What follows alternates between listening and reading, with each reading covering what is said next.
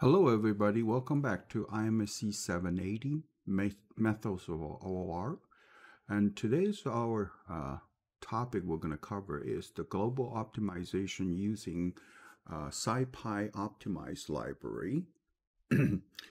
and this lecture we're going to cover uh, some of the uh, on uh, exercise part in lecture 10, uh, nonlinear programming, uh, part 2, uh, we talk about global optimization, but we don't have a detailed example walk you through how exactly these problems got solved. And this is a tutorial using Python uh, SciPy library to solve, uh, give you some uh, walkthrough. And I'm going to go through this real quick without uh, giving too much detail. We do have uh, uh, another designated class for nonlinear uh, programming is IMSE 9, uh, 982. Uh, you're welcome to take that class if you're interested in this type of top topic. Um, but here we're just going to give you an introductory uh, hands-on experience uh, on solving uh, global optimization problems, specifically this section. and before that, we're going to introduce one of the very interesting uh, test function called egg holder. If you go to a grocery store, you're buying eggs, you probably notice the the kind of uh, uh, paper, heavy paper, uh, cartoon uh, material to hold the eggs as a very interesting shape. So we're going to define this function and actually the function looks like as a very famous function used for global optimization. This is the functional uh, definition. And I can define a user function and I can define the bounds between negative, uh, 512 to positive 512. The next what I want to do is I plot this function, okay? And so showing you how the function looks like is really looks like a egg, uh, egg holder uh, in that range. Um, other than that, it's fairly simple, and this is uh, we just restrict the the lower and upper bound area. We're trying to find the optimal solution, and and first, I'm going to uh, introduce is the so-called uh, simplicial homologic uh, global optimizer, and to, to use that very simple, just from SciPy import optimize and calling the optimize shgo give the functional uh, functional definition and give the bound, which is 512, 512, uh, negative to positive 512. And this is a search range. It gives you a solution and it tells you this is a, a optimal terminated and finished uh, optimal, uh, find the optimal solution. Number of functional evaluation 47, number of iteration 2, and so on. Okay. and here I give you a simple rundown says what is the simplicial homologic uh, global optimizer and give you a reference below and this is a, a paper uh, in 2018 is fairly new algorithm and I'm glad it's implemented uh, already uh, in SciPy. Of course, this program was uh, developed in the algorithm developing in MIT. Um, so we're going to talk uh, talk about that more later. The second algorithm we're going to dealing with is a dual annealing method. This function that uh, is a stochastic approach using mm, combined with a generalization of uh, classical uh, simulated annealing and also the more newer method called fast simulated annealing. Uh, simulated annealing method, uh, we talk about it in, uh, in our other OR classes as well. So not going to go through the detail. This is the temperature functions and how to cool it down. So updated. So here I have it's very simple using optimized dot annealing using the function and the bound, and also find optimal. Uh, they didn't find an optimal solution. Uh, find a close to optimal solution, and simulating annealing didn't have uh, have a check for uh, optimal uh, optimality. It just runs whatever number of iteration you specify. so number of iterations a thousand. Okay, number of functional evaluations uh, 4076. And this type of method are very efficient, quickly uh, solving problem. However, uh, one of the limitation for this type of problem is there uh, if the functional evaluation is too expensive, which means you have a huge or complicated objective function, and this could be time consuming. But if you uh, the functional evaluation for your uh, objective function is very simple to calculate, this method is very uh, powerful. Next method we're going to introduce is called a dif uh, differential uh, evol evolution. And this is another method, uh, pretty much uh, using a so-called genetic algorithm type of uh, uh, algorithm with combined with the gradient-based technique. okay, so this is a version of genetic algorithm using in SciPy for optimization. Same thing. Another method we're going to introduce uh, have available in SciPy for global optimization is called basin uh, jump.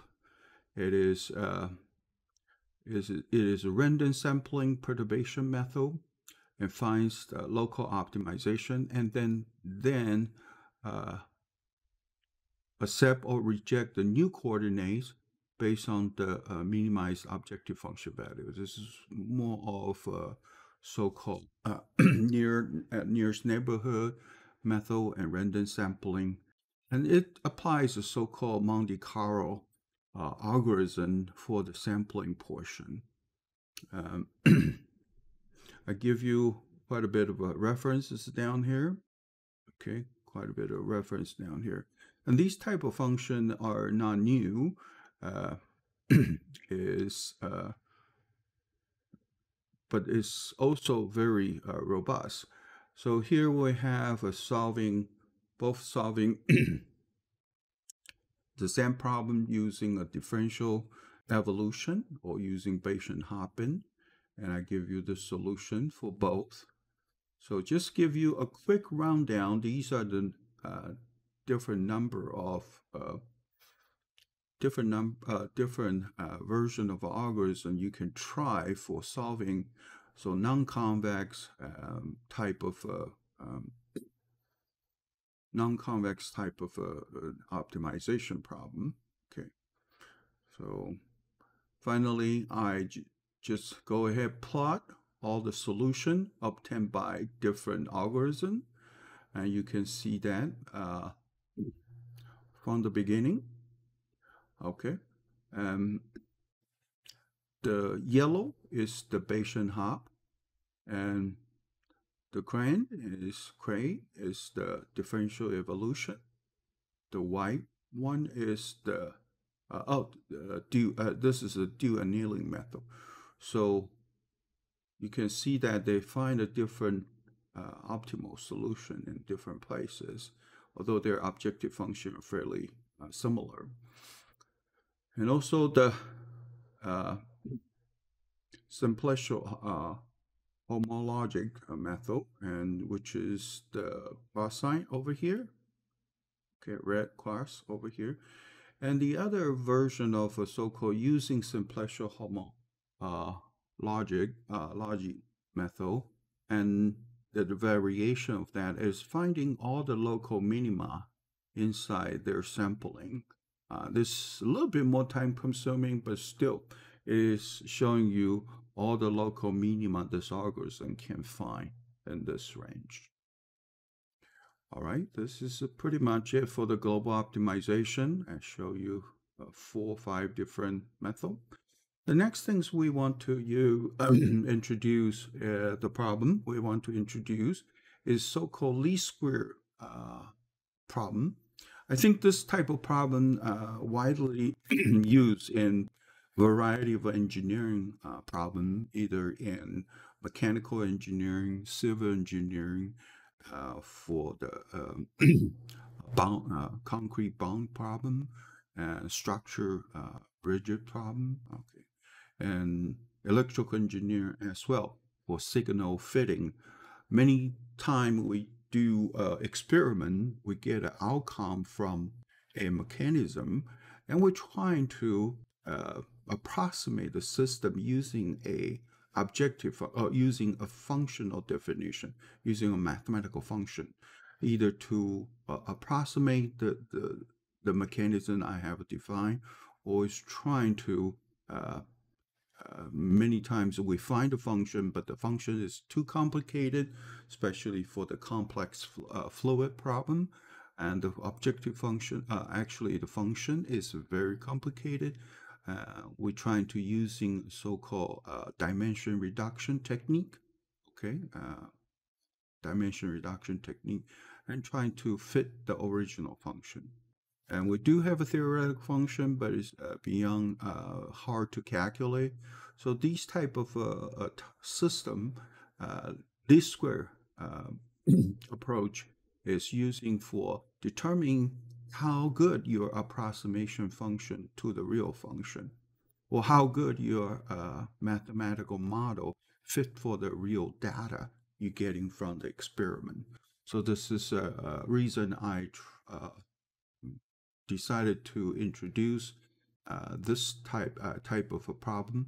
The problem is fairly simple: is one half uh, minimize one half of f of a function square because the least square we calculate the difference between uh, two value, but we're using square to make sure that uh, all the distance or the variation or the arrows are using a square arrow, okay? We also apply a though, uh, though function. The though function is uh, how much you want to uh, reduce the inference of outlier and residual. So for example, you can eliminate certain outlier uh, beyond certain uh, threshold of uh, error. You decided to throw out those outlier and how much uh, how much uh, robust, how robust your model is going to be. And you want some, the outlier still have some inferences to your least square problem, but not necessarily as important as the uh, the the numbers or the data is actually close to the uh, true curve. So these are uh, this resolve a lot of variation. You can define your rho function in a very different way, and the rho function don't even have to be continuous or differentiable. You can uh, set up a range function type of thing. The next thing is we talk about for these, uh, for the f of x, we can define their Jacobian uh, vector or matrices, depends on the dimensionality of the f. And how we're going to uh, do this. So here I give you an example, how to uh, example problem. This is an enzymatic uh, reaction function. Uh, so f of x has a three variable x naught, x1, x2, uh, four variable, x1, x2, and x3. So as a result, the three uh, Jacobian, which is a vector of four. Uh, so we take a first partial derivative, okay, partial derivative for x naught, x1, x2, and respect to s3, you get a Jacobian vector. And the ob original objective function is this function, we're trying to approximate, and the y function usually coming from directly from the experiment. So we have a dot product, uh, a dot, uh, several information outcome from experiment, and we're trying to fit through this function. So we're using the difference between those and take a square, and that give you the uh, so-called square error. And this we have you. Uh, this is we sum it up together. So this objective function usually defined as a sum of a square arrow type of uh, objective function. So this is a very typical uh, least square uh, uh problems formula. And my axis decision variable was within a certain uh, lower and upper bound. Give you this example in Python, uh, SciPy. Define the model, which is the original objective function, and define the uh, the function, which is uh, model minus y, which is my function. And so y is the real data, and define the Jacobian vector, give it store in the vector, and I give the original uh, initial uh, u and y, which is the experiment data set we get. X naught is an initial guessing for the axis. I'm calling this least square using the function, which is the objective function we have, um, Jacobian vector, and give the bound for the, my solution. The argument we have input is u and y. Okay. So u's are the parameters we use. and cost coefficient. Then we can solve for this uh, least square problem. Okay.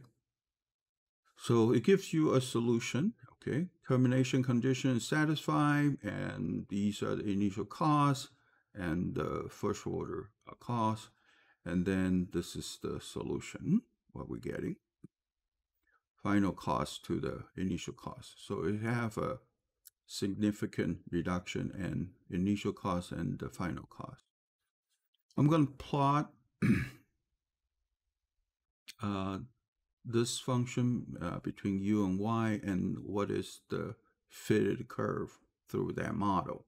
So the data I have um, uh, based on the u and y, this is the blue dot I have, and the orange curve right here is the curve produced by our model. So this is a very uh, popular use least square model and it is readily available in, in SciPy library.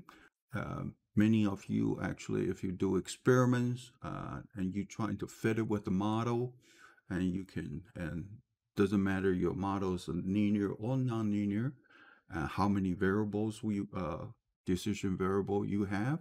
And this is a very uh, convenient uh, library to use. And I give you the references down there in the very bottom. It is a very classic uh, prob uh, problem for many engineering application. So I'm going to conclude this lecture and so and also conclude the entire nonlinear programming part two.